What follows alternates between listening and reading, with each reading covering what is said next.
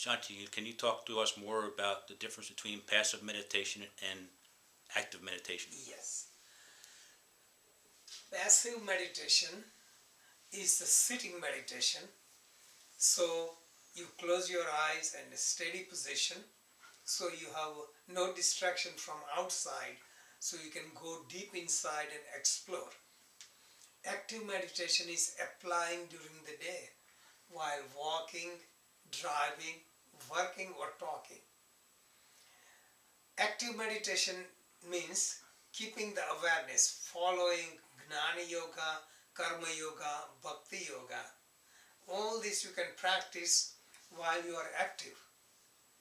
In passive meditation, you have no distraction, so you can go deep inside. Passive meditation helps you with active meditation.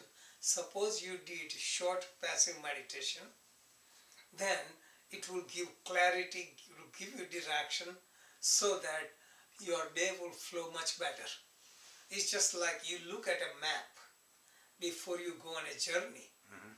and you know where you have to go so you can plan your trip accordingly instead of zigzag and wasting your time you can use it efficiently so passive meditation like a map now active meditation whatever you do during active life influences when you are sitting quietly.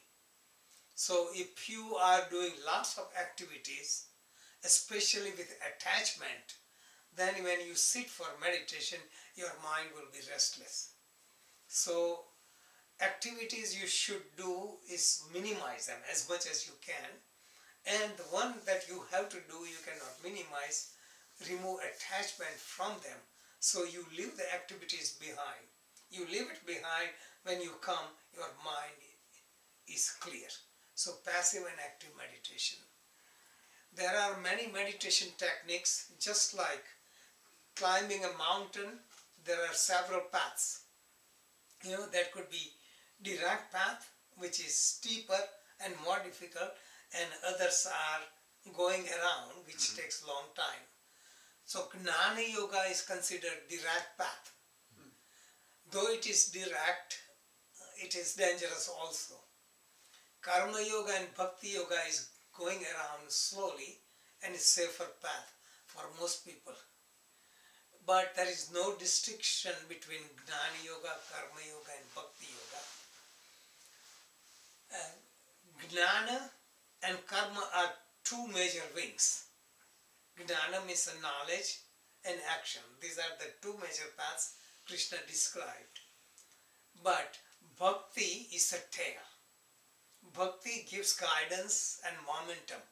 So even if you are practicing yoga of heart or yoga of action, you can always use devotion. Because if you have devotion, you can do Gnana Yoga properly. If you have devotion, you work with awareness. Another yoga is Raj Yoga. So even if you follow Gnana Yoga, Karma Yoga, or Bhakti Yoga, Raj Yoga is suitable for everyone, especially in today's society. Raja Yoga is total yoga, Hatha Yoga, that is physical yoga, proper nutrition, proper yoga exercises, breathing. These are very good tools, and Raja Yoga is meditation. So these tools are useful for all the branches.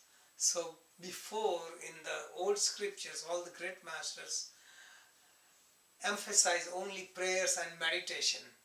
They did not talk about breathing or yoga position or watching the diet because they had no need for describing diet because food was natural, no need for exercises because the li- living was so difficult.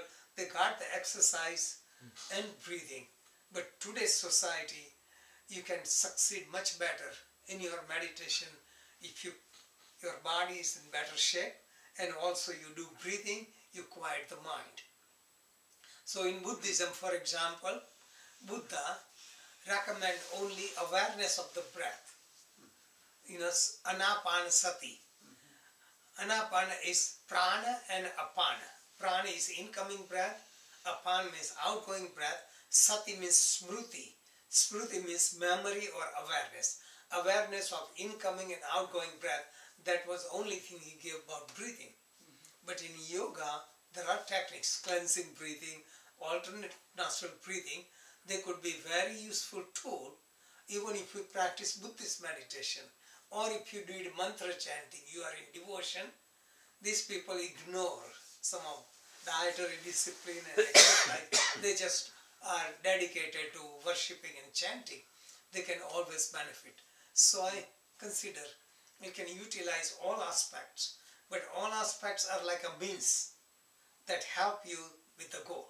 The goal remains the same but don't get distracted. People get distracted. They get so much into diet.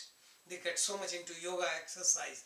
They get so much into breathing. They get into fasting or natural foods or it becomes means. So don't get caught into means. Use them as necessary.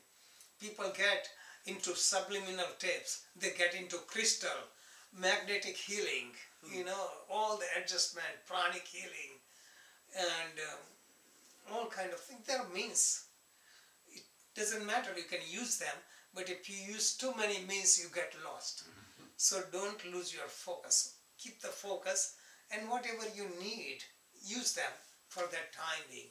Don't get stuck on it. People get so much stuck on it, like Reiki is the only thing. You don't need anything. Hmm. Is this Tai Chi is the only thing you don't need anything else. You know, this is the only way. That is not only way. Hmm. We just have to use whatever suits us.